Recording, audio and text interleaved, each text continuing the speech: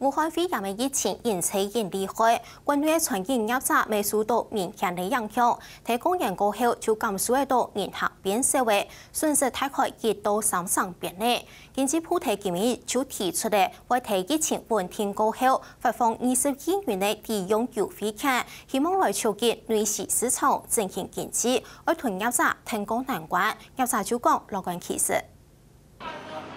二月十四日就系情人节，往年毕业都每年先打电话来听唱唱，想听还听唔到。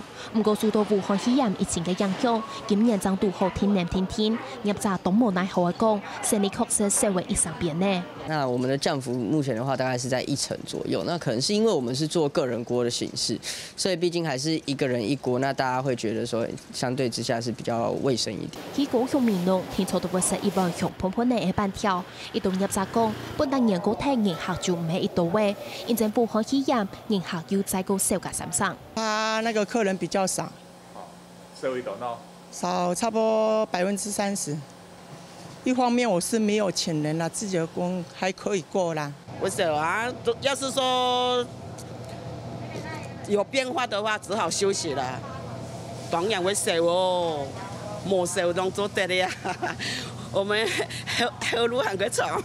面对武汉肺炎对三亚造成很大影响，行政院编列六百亿元嘅贴片预算，其中针对传统亚市嘅上千单。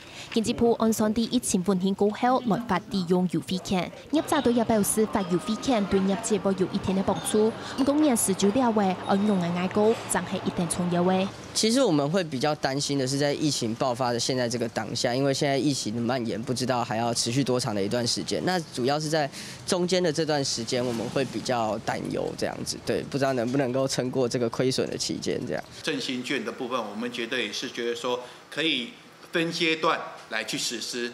也就从现在开始，譬如说以三个月一期为单位，你就一次发放，譬如说是五千块、一万块，我不知道，当然政府有一个财政的一个一个准确啊，不要等到说一定要到疫情和缓了三个月、半年后再来做，因为现在真的要赶快开始救。